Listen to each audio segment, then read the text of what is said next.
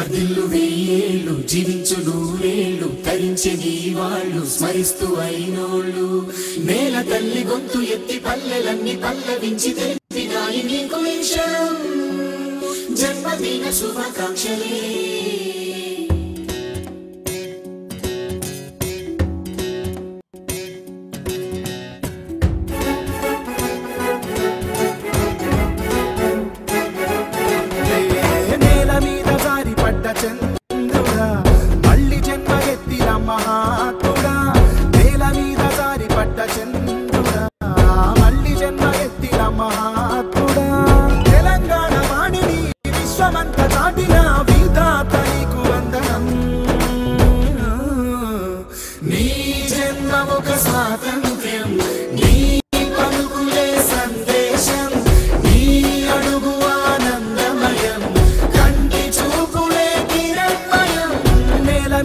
జారి పడ్డ చంద్రుడా మళ్ళీ జన్మ ఎత్తిరా మహాత్మ.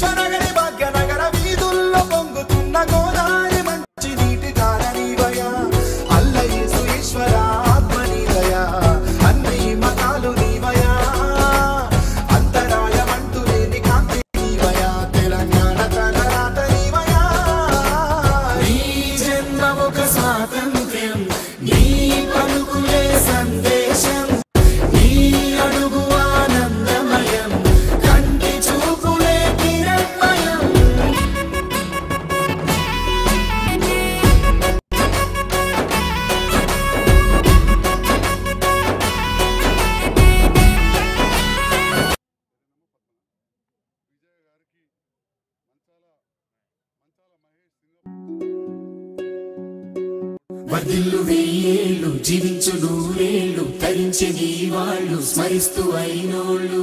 నేల తల్లి గొంతు ఎత్తి పల్లెలన్నీ పల్లవించి తెలిపినాయి నీకు ఈ జన్మదిన శుభాకాంక్షలే.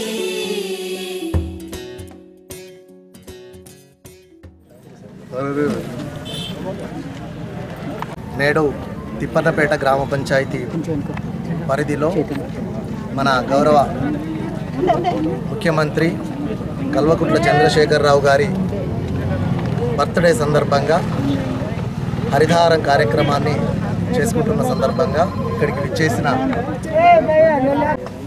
ముఖ్యమంత్రి గారి పుట్టినరోజు సందర్భంగా ఈ ఎవెన్యూ ప్లాంటేషన్ రోడ్ సైడు గ్రామ పంచాయతీ పరిధిలో చేస్తున్నాము. దీన్ని విజయవంతం చేసిన అందరికీ ధన్యవాదాలు తెలియజేస్తున్నాం. ఈరోజు సీఎం మన తెలంగాణ రాష్ట్రాన్ని సాధించిన గౌరవ ముఖ్యమంత్రి వర్యులు కల్వకుంట్ల చంద్రశేఖరరావు గారి జన్మదినం సందర్భంగా కోటి వృక్షార్చన అనే కార్యక్రమాన్ని ప్రారంభించుకోవడం జరిగింది. ఎందుకంటే ఈ కోటి వృక్షార్చన అనేది మన కోసం ప్రాణం ఉన్న భూమి మీద ప్రాణం ఉన్న ప్రతి జీవికి గాలి నీరు ప్రాణాధారం. కాబట్టి చెట్లు లేకపోతే వర్షాలు లేవు. గతంలో చాలా అడవులు చిక్కగా ఉంటుండే. రాను రాను తరిగిపోతున్నాయి. మనుషులు ఎక్కువవుతారు అడవులు తక్కువైతున్నాయి కాబట్టి మన ముఖ్యమంత్రి గారి పుట్టినరోజు సందర్భంగా ఈ కార్యక్రమాన్ని చేసుకోవడం చాలా చాలా సంతోషం. ఇది అందరికి కూడా మన అందరికి ఉపయోగపడే కార్యక్రమం. ఈ కార్యక్రమాన్ని తిప్పన్నపేట గ్రామ పంచాయతీలో ఈరోజు ఎవెన్యూ ప్లాంటేషన్గా పెట్టుకోవడం.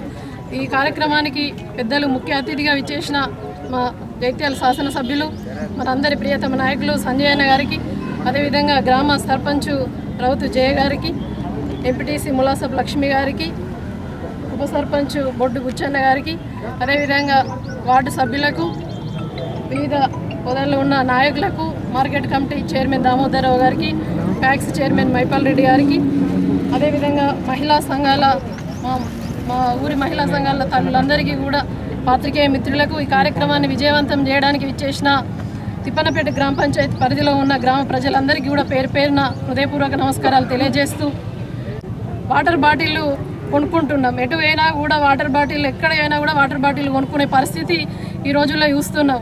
అదే పోను పోను భవిష్యత్ తరాల్లో కూడా మనం ఆక్సిజన్ అంటే మనం పీల్చుకునే గాలి కూడా కొనుక్కునే పరిస్థితి రావద్దనేదే మన గౌరవ ముఖ్యమంత్రి గారి ఉద్దేశం. ఆ విధంగానే మనకు ప్రతి సంవత్సరం కూడా హరితహారం అనే గొప్ప కార్యక్రమం పెట్టి ప్రజలందరూ కూడా భూమి మీద ఉన్న ప్రజలు అదేవిధంగా భవిష్యత్ తరాల పిల్లలకు కూడా మంచి గాలిని స్వచ్ఛమైన గాలిని ఇచ్చి ఇటు చెట్లు పెడితే ఇటు వర్షాలు కూడా విస్తారంగా కురుస్తాయి.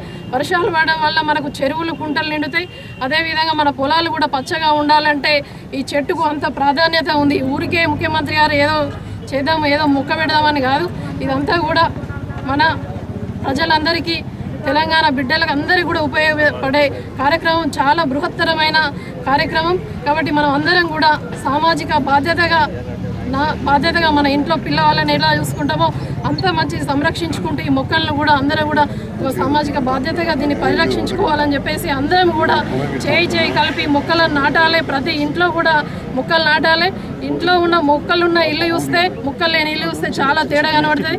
ఆ విధంగా స్వచ్ఛమైన వాతావరణాన్ని మనం కూడా ఇంకా కూడా పెంపొందించుకోవాలని చెప్పేసి మీ అందరికీ కూడా కోరుతూ ఇందులో భాగస్వామ్యమైన మా తిప్పనపేట గ్రామ ప్రజలందరికీ మహిళలకు అదేవిధంగా పెద్దలు సంజయ్ అన్న గారికి అందరికీ కూడా ఇక్కడ కార్యక్రమాన్ని విజయవంతం చేసిన మా పాత్రికేయ సోదరులందరికీ కూడా పేరు పేరున నమస్కారాలు. జై తెలంగాణ.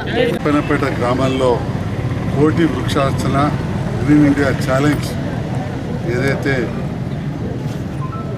మా రాజ్యసభ సభ్యులు సంతోష్ కుమార్ గారు కేసీఆర్ గారి పుట్టినరోజు సందర్భంగా పిలుపునిచ్చారో దానికి అనుగుణంగా తిప్పనపేట గ్రామ సర్పంచ్ మా జిలక్క గారు అదేవిధంగా స్థానిక ఎంపీటీసీ వైస్ ఎంపీపీ గారు నన్ను అదేవిధంగా జడ్పీ చైర్పర్సన్ గారిని అధికారులను ఆహ్వానించి ఒక గొప్ప కార్యక్రమాన్ని ఏర్పాటు చేశారు వారికి ధన్యవాదాలు తెలియజేస్తున్నాను అదేవిధంగా ముఖ్యమంత్రి గారు తెలంగాణ రాష్ట్రాన్ని సాధించడమే కాదు సాధించిన తర్వాత పునర్నిర్మాణించే భాగంలో మరి ఒకప్పుడు తెలంగాణ అంటేనే అడవులు ఒకవైపు కృష్ణ ఒకవైపు గోదావరి నది మధ్యలో ఎన్నో వాగులు వంకలు ఇవన్నీ కూడా గత పాలకుల నిర్లక్ష్యం వల్ల చెరువులన్నీ కూడా కప్పులాగా తా గంగాలం లెక్క ఉండేవి తామాలం లెక్క అయినాయని చెప్పందరు అంటే ఎవరు పట్టించుకునే వాళ్ళు లేరు తూములు పట్టించుకునే వాళ్ళు లేరు.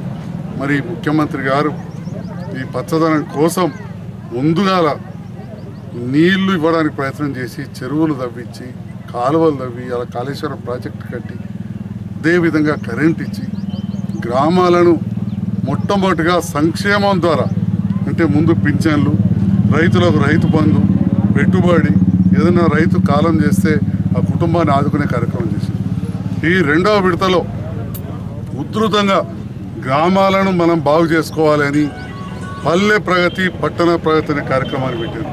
ఈ పల్లె ప్రగతిలో భాగంగా గ్రామాలకు ముఖ్యంగా ఈ పచ్చదనం కోసం డబ్బులు ఇచ్చి ప్రతి ఊరికి ఒక ట్రాక్టర్ ప్రతి ఊరికి దానికి ఒక టైలర్ మళ్ళీ ఒక నీళ్ళ ట్యాంకర్ ఇచ్చిన ఘనత ఏర్పాటు చేసే ఘనత ఒక్క కేసీఆర్ గారితో చెప్పి తెలియజేస్తుంది పల్లె పల్లె ప్రగతిలో భాగంగా ముప్పై రోజులలో ఉన్న కరెంటు పోల్ అన్నీ కూడా పాతవి వంగిపోయినాయి అన్నీ తీసేసి కొత్త కరెంటు పోల్ వేసి పరిశుభ్రత అంటే ఏందో కొన్ని గ్రామాల్లో అయితే వాళ్ళు చెప్పారు అసలు ఇరవై ఏళ్ళ కంపు పోయింది సార్ మూర్లలో అని చెప్పి. అంటే ఇట్లాంటి కార్యక్రమాన్ని చేపట్టారు మరి ఆ సందర్భంలో నేను కొంత విదేశాలు ఉన్న సందర్భంలో మన జేడీపీ చైర్మన్ గారు ఎంపీపీ గారు మిగతా నాయకులు చాలా పెద్ద ఎత్తున పర్యటించి ఈవెన్ మన పంచాయతీరాజ్ శాఖ మంత్రి గారు కూడా మన నియోజకవర్గంకి వచ్చింది పర్యటించడం జరిగింది. అంటే గ్రామాలలో పరిశుభ్రత గురించి పచ్చదనం గురించి ఇంటింటికి మంచినీళ్ళు ఇవ్వడం గురించి ఇవన్నీ కూడా శ్రద్ధ పెడుతున్న మన ముఖ్యమంత్రి గారు ఈరోజు వారి పుట్టినదినం. ఆ పుట్టినదిన సందర్భంలో తిప్పనపేటలో వెయ్యి మొక్కలు నాటే కార్యక్రమాన్ని గ్రామ సర్పంచ్ గారు మిగతా నాయకులు అందరూ కూడా ఏర్పాటు చేశారు. ఈ గ్రామ ముద్దుబిడ్డైన మా జడ్పీ చైర్మన్ పర్సన్ గారు కూడా ప్రత్యేకంగా సర్పంచ్ గారితో సహకారం అందరూ కూడా మమ్మల్ని ఆహ్వానించారు. వారికి ధన్యవాదాలు తెలియజేస్తున్నా. మరి ఇదే పొరవడి ఎప్పటికి కూడా కొనసాగాలి. ఎందుకంటే జగిత్యాల జిల్లా అంటేనే మనకు రాయకల్ మండలం సారంగాపూర్ జగిత్యాల చుట్టుపక్కల అడవులు. అలాంటిది రెండు వేల పంతొమ్మిదిలో తెలంగాణలోనే అత్యధిక ఉష్ణోగ్రత సారంగా బీర్పూర్ మండలంలోని కొల్వాయిలు వచ్చింది. దీనికి కారణం అక్కడ ఎంతో దట్టమైన అడవులు ఉంటే మొత్తం నరికివేయబడ్డాయి. ఇప్పటికైనా కానీ అడవులలో చెట్లు గ్రామాలలో చెట్లు పట్టణాలలో చెట్లు పెడితేనే మనం ఈ ఉష్ణోగ్రత నుంచి తట్టుకోగలుగుతాం. మనం కూడా చూస్తున్నాం రాత్రి చలిపెడుతుంది పగలు ఈ టైంలో ఎండ కొడుతుంది అంత కొడితే ఫిబ్రవరి మొదటి వారం. ఈ విషయాన్ని ప్రజలందరూ కూడా గుర్తించాలి. ప్రజలు భాగస్వామ్యాలు అయితేనే ఏ పథకం అనేది సక్సెస్ అవుతుంది. ఒక్క ప్రభుత్వంతో ఎన్నడూ కూడా కాదు. ప్రజలు భాగస్వామ్యమైన చైనా సింగపూర్ లాంటి దేశాలు ఇవాళ అభివృద్ధి చెందినాయి. అవి మన తర్వాత ధన ధనికంగా అయిన దేశాలు. మనకంటే ముందు కాదు. అమెరికా అంటే మొదటి నుంచి ధనిక దేశాలు కావచ్చు పాశ్చాత్య దేశాలు. కానీ చైనా సింగపూర్ ఇట్లాంటి దేశాలు మన తర్వాతనే మన మనకంటే బీద స్థితిలో ఉన్న దేశాలు ఇవాళ ధనిక దేశాలు అయినాయి కాబట్టి మరి అలా ఉండాలంటే ప్రజల భాగస్వామ్యం కావాలి. ఈ పచ్చదనం పెంపొందాలి. పచ్చదనం బాగుంటేనే వర్షాలు పడతాయి. వర్షాలు పడితేనే మన పంటలు పడతాయి కాబట్టి మన ముఖ్యమంత్రి గారి పుట్టినరోజు ఈరోజు ఈ కార్యక్రమాన్ని ఏర్పాటు చేసాం వారికి జగిత్యాల నియోజకవర్గ మరియు తిప్పనపేట ఈ మండల ప్రజలందరి పక్షాన పుట్టినరోజు శుభాకాంక్షలు కూడా తెలియజేస్తున్నాం. జై జై తెలంగాణ.